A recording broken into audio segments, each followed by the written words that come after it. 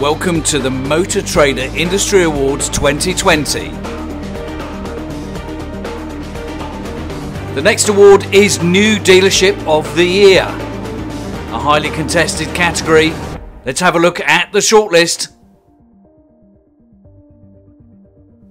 The judges highly commended Marshall Jaguar Land Rover Newbury.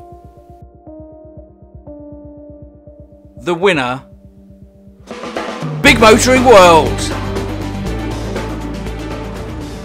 Hello, my name's Darren Miller and I'm the Marketing Director at Big Motoring World. This year, to say the least, has been a bit of an up and down year, so we're absolutely blown away to have won the New Dealership of the Year Award 2020 led by our CEO, Peter Waddell, the management team, and our colleagues have worked relentlessly to develop our Bluebell Hill dealership. And this award is a testament to their commitment and dedication, and it's an amazing achievement for all. So, thank you to all of the team who made this all possible and to Motor Trader for the recognition. Thank you.